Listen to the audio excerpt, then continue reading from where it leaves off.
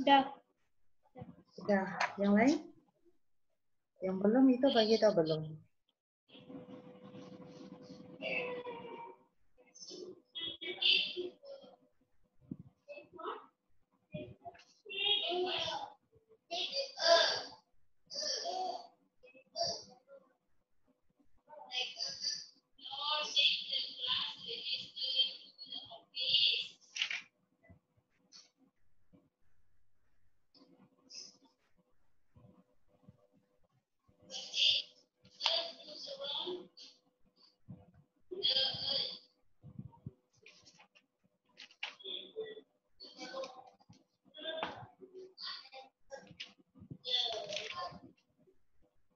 Liu sudah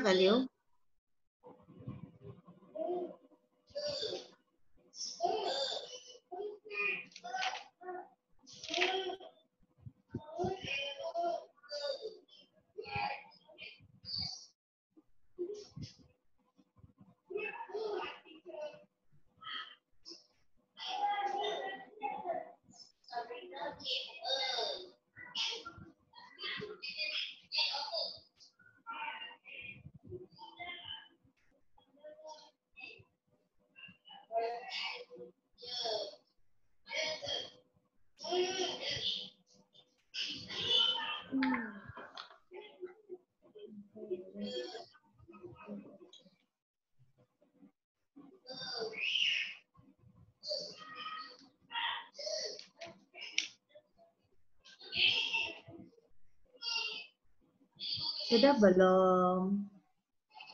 Dah. Saya dah. Okay. Ya. Right. Jawapan dia. Jawapan dia. Okay. Pemerintah Melaka berasal daripada keturunan okay, keturunan ataupun zuriat keturunan pun boleh. Ya, keturunan anak Raja Palembang iaitu bersusur galur daripada Iskandar Zulkarnain. Iskandar Zulkarnain. Okay, lepas tu B memberikan taraf kedudukan yang tinggi. Kedudukan yang tinggi kepada Sultan Melaka dalam kalangan kerajaan lain di alam Melayu. Okay. Yang pertama. Yang kedua, peranan raja. Peranan raja dalam sistem pemerintahan adalah yang pertama, simbol perpaduan. Simbol perpaduan. Yang kedua ialah ketua angkatan tentera. Ketua angkatan tentera. Okey, untuk C mengetuai mengetuai hubungan diplomatik mengetuai hubungan diplomatik. Yang B, menyelaraskan kegiatan ekonomi. Menyelaraskan kegiatan ekonomi. Okay. Lepas tu E ialah menjadi ketua agama Islam kat bawah ni. F menegakkan keadilan. So ini peranan seorang raja. Okey, yang ketiga.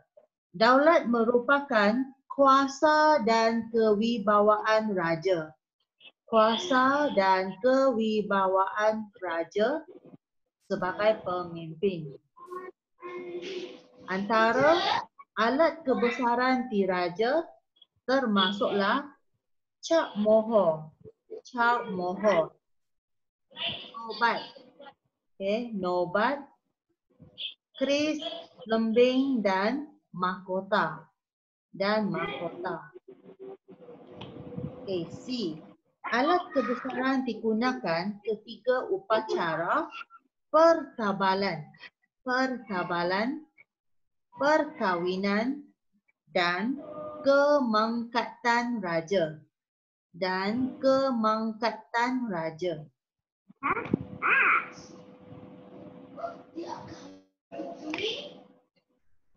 Okay, kemudian yang keempat, kewibawaan.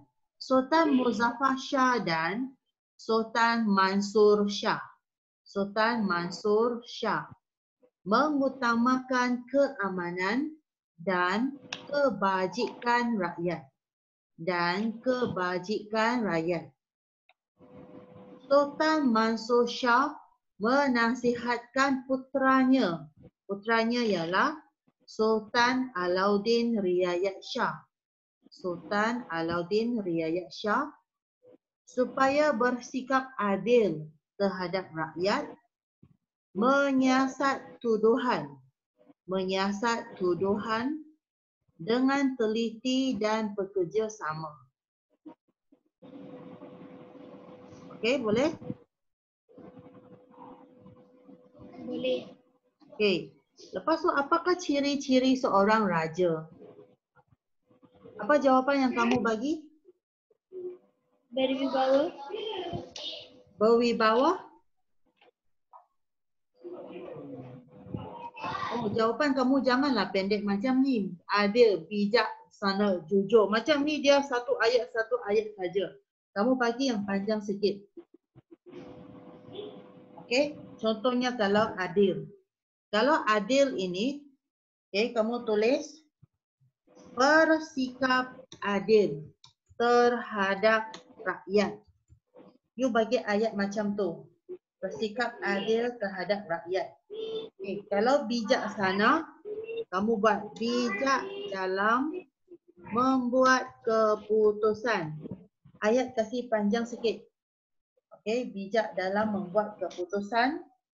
Okay, satu lagi mengambil berat terhadap kebajikan rakyat. Ha, ini, ha, ya. Ini tiga-tiga ada sudah dalam di atas ni. Dalam atas ni. Okey. Dan kewibawaan. Macam mana berkewibawaan?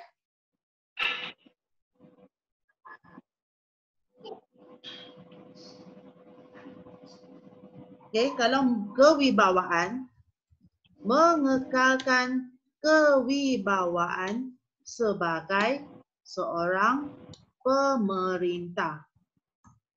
Nah, ini boleh mengekalkan kewibawaan. Maksudnya dia punya power orang nampak dia sudah tahu oh ini orang mesti orang atasan. Dia bukan orang biasa-biasa. Orang nampak muka dia nampak dia punya pakaian sudah tahu ini orang sangat power punya. Ya. Okey. Ada lagi jawapan lain?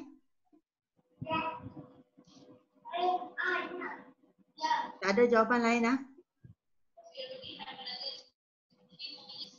Okey. Kemudian yang bawah ni. Ini mungkin susah sikit nampak. Okey ke? Boleh nampak ah?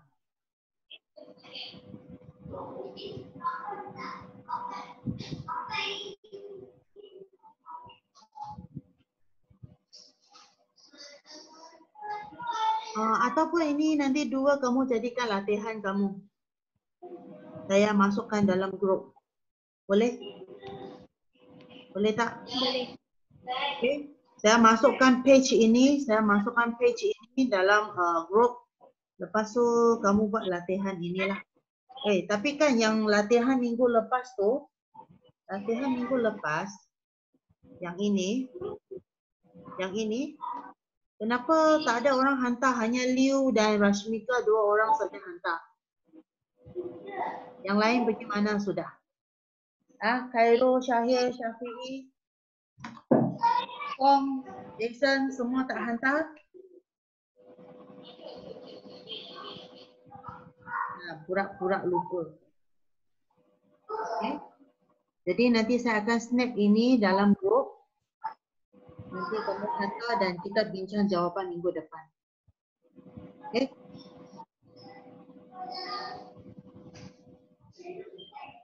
Uh, Leo yang ini, ini, ini, yang yang dua, dua, dua, yang latihan yang ini yang sekarang kita nampak.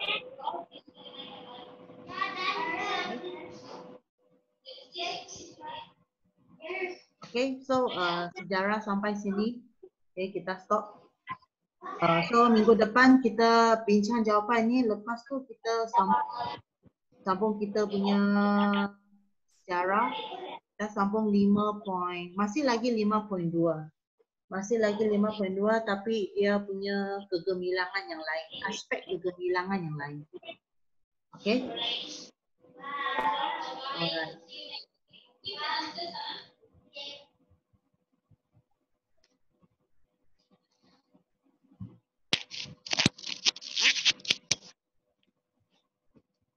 Kenapa tak boleh kasih tutup